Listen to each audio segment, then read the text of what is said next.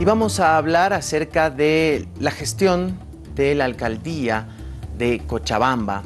Una gestión que se ha visto marcada por denuncias de hechos de corrupción, un alcalde suspendido y encarcelado, otros dos alcaldes suplentes, disputas al interior del Partido de Demócratas, pero sobre todo una baja ejecución presupuestaria en el municipio de Cochabamba. Para hablar de este tema, hemos invitado en los estudios de Avia Yala Televisión en la ciudad de Cochabamba al señor Héctor Arce, quien es presidente de la Asociación de Municipios de Cochabamba. Señor Arce, muy buenos días. Diego Montaño lo saluda desde los estudios de Avia Yala La Paz. ¿Cómo está? Diego, muy buenos días. Eh, contento por la invitación y por supuesto predispuesto a poder intercambiar unos minutos con usted para poder aclarar algunos hechos eh, lamentables que ha sucedido aquí en la alcaldía de Cercado.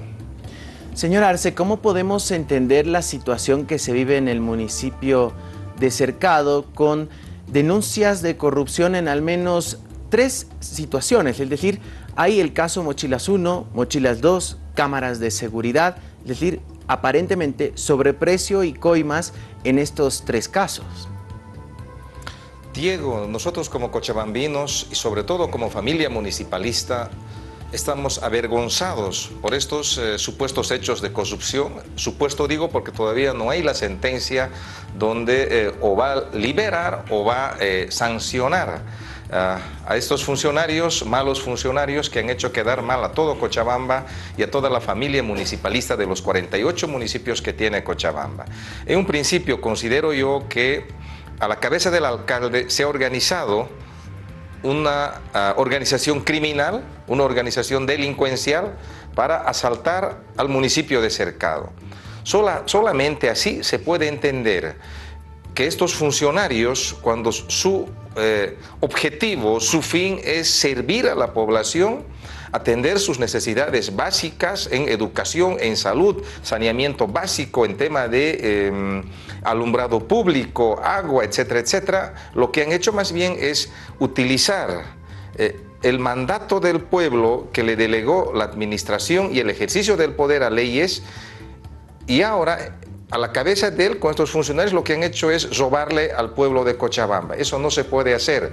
Desde ningún punto de vista se puede entender estos hechos tan tristes y lamentables que a diario se van denunciando. Como usted decía, mochilas 1, mochilas 2, se está hablando de mochilas 3, se habla de las cámaras, se habla de sobornos de 45 mil dólares que han ido a parar hasta Estados Unidos. Hay una denuncia a un concejal por unos dineros que le han entregado, la policía le ha agallado. Entonces, cada día sale denuncias más denuncias. Hay otra denuncia de desayuno escolar. Y bueno, eh, ayer, antes de ayer, había otra denuncia de un contrato casi de un millón de bolivianos por unos muchachos universitarios que deberían cuidar el cerro de San Pedro. Bueno, no sé, te digo, cada día, cada día hay denuncias más denuncias. Ahora, señor Arce, ¿cuál es eh, la sensación de la población? Porque además de las denuncias de aparentemente hechos de corrupción, también hay una baja ejecución presupuestaria, apenas supera el 50% y prácticamente acabó esta gestión 2018. Bueno, entendemos nosotros que estos conflictos internos, conflictos políticos que tienen está perjudicando la ejecución financiera de Cochabamba. Al 15 de noviembre, que es el último reporte que tenemos como AMDECO, de acuerdo a lo que nos informa el, Ministerio de Economía, está por el 52%. Estimo yo en este momento debe estar por los 55%. La ejecución más alta de de Cochabamba, de un municipio que es Omereque, precisamente de, donde yo soy alcalde, tiene 77% de ejecución. Entonces estamos hablando prácticamente por encima de 20%, 25% aproximadamente de diferencia con la ejecución de Cochabamba. Pero aquí lo que más llama la atención es que hay un interés mezquino, ya ambicioso, de permanecer en el poder para de una u otra forma, entiendo yo, aferrarse al cargo y de esta forma tratar de manipular a los administradores de justicia. No se entiende de otra forma. ¿Cómo es posible que yo, siendo alcalde, estoy con detención preventiva en una cárcel, voy a poder conducir? Yo creo que el Consejo Municipal ha tomado una, una decisión en el marco de sus atribuciones, que es el de buscar otro alcalde suplente, elegir a otro alcalde suplente que actualmente está en el concejal Tellería. Nos parece saludable, creo que el Consejo Municipal ha cumplido ese mandato que le ha delegado la ley 482 de gobiernos autónomos municipales y seguramente otras normas. Considero que han cumplido su rol, su mandato. Ojalá este nuevo alcalde pueda trabajar en beneficio de Cochabamba. ¿Qué le pedimos al alcalde? Que pase a la historia como un alcalde que buscó transparentar estos supuestos hechos de corrupción, que como alcalde en el ejercicio pleno de sus facultades y derechos, tome las decisiones de manera autónoma en beneficio de Cochabamba. Pero más bien lo que vemos ahora es que hay una pelea, una división entre concejales demócratas donde no lo están reconociendo como alcalde, aún persisten en que el señor Leyes vuelva a la alcaldía y, esto le, le genera incertidumbre a Cochabamba, le genera inestabilidad y por supuesto nuestra solidaridad por las empresas que han ejecutado obras aquí en Cochabamba que seguramente están preocupados y molestos porque han hecho inversión y no pueden cobrar sus planillas. Toda persona trabaja porque necesita. Nadie va a ir a trabajar por ocioso. Trabaja porque necesita, tiene una familia, tiene hijos, hace inversión, hay que cubrir esa deuda. Bueno, hay una serie de obligaciones que tienen las empresas, nos solidarizamos. Y lo único que están haciendo con estos problemas es eh, introducir más miedo, amedrentar a los funcionarios, que el alcalde no quiere tomar decisiones. Hay una deuda casi de 34 millones de bolivianos, por ejemplo, que tiene la alcaldía de Cercado con el complejo hospitalario Viedma. ¿Eso qué, en qué se traduce? En una mala atención, porque no tienen seguramente médicos, el equipamiento ya está obsoleto. Son 34 millones de bolivianos que deben de la atención de salud como alcaldía de cercado al complejo hospitalario Viedma. Entonces son, son hechos como esto que son frecuentes en varias áreas. Y bueno, esperemos que este nuevo alcalde, decía yo, o va a pasar a la historia como un alcalde que va a intentar buscar transparentar la corrupción o va a pasar a la historia como un alcalde que entró para ocultar más bien los hechos de corrupción. O en su defecto va a pasar a la historia como, como uno más que entró a este fuego, ¿no es cierto?, de... Eh, manipulación de las normas de las leyes para intentar de una u otra forma protegerlo al exalcalde Leyes. Se, eh, aprovechando su presencia en los estudios de Avia Yala Televisión Cochabamba, quiero preguntarle respecto a la situación eh, política que vive el país. El próximo 18 de diciembre se ha convocado en eh, Quillacollo justamente una concentración en conmemoración al Día de la Revolución Democrática y Cultural. Eh, cómo se vienen organizando para encarar este día en torno a huelgas que se han iniciado por parte de activistas del 21F en todo el país. Diego, nosotros estamos en democracia, yo entiendo eso absolutamente. El, derecho a la protesta está garantizada constitucionalmente. En la medida que estas, que estas protestas estén en el marco de la ley, en el marco de la Constitución, es que están plenamente permitidos. El problema es que cuando estas organizaciones a la cabeza de algunos criminales o delincuentes, así los podemos llamar, asaltan a las instituciones públicas. Ojalá que este estos, estas huelgas implementadas por los comités cívicos, que no tienen, por supuesto, la legitimidad ¿no es cierto? Y el reconocimiento del pueblo, particularmente en el caso de Cochabamba, Flores ya es un político eh, desgastado, esquelético, que no representa Cochabamba.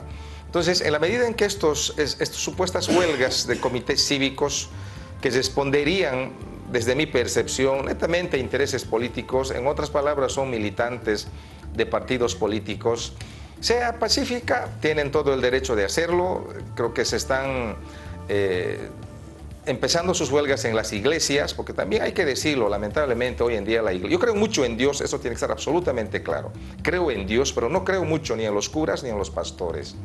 Nosotros vemos a diario que la iglesia va y se manifiesta de manera frontal en contra del movimiento al socialismo.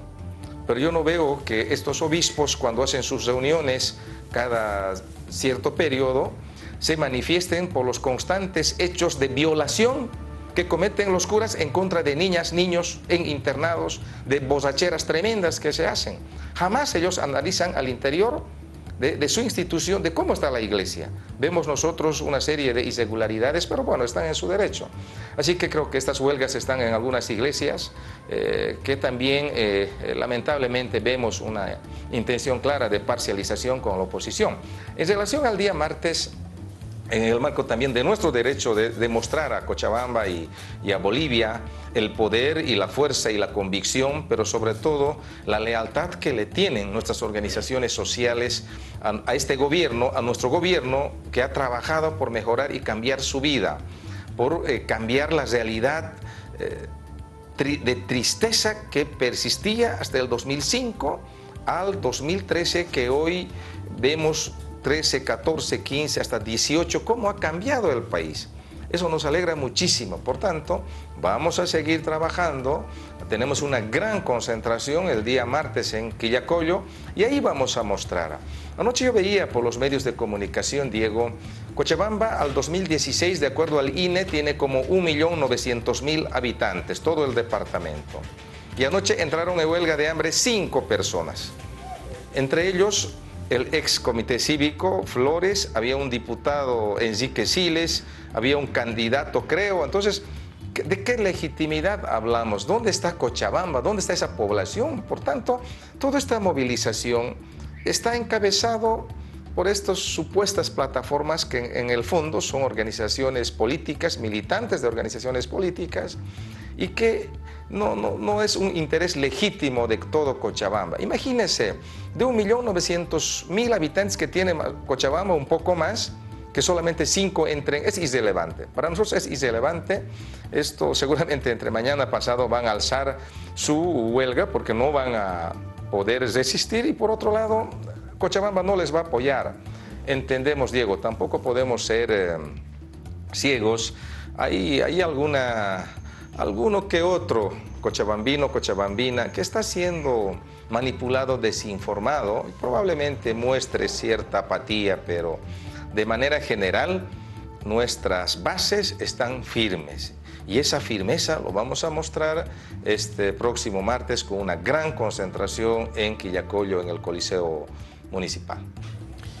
Señor Arce, quiero agradecerle por este contacto desde los estudios de Aviala Televisión en la ciudad de Cochabamba. Estaremos atentos a lo que vaya a ocurrir el martes en el municipio de Quillacollo en esta masiva concentración y también, eh, por supuesto, atentos a las informaciones que vienen desde Cochabamba. Muchas gracias.